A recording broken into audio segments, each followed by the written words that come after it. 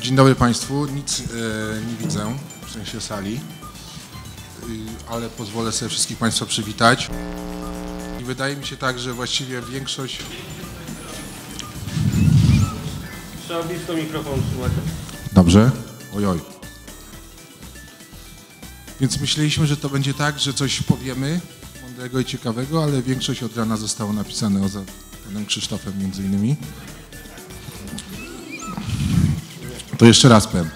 Chcieliśmy powiedzieć coś ciekawego i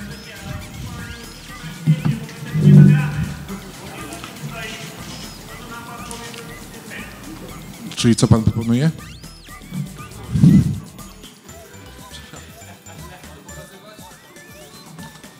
Znaczy to, ale teraz nawet też nie słuchać?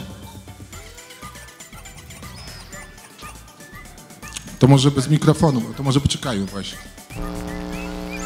A teraz lepiej?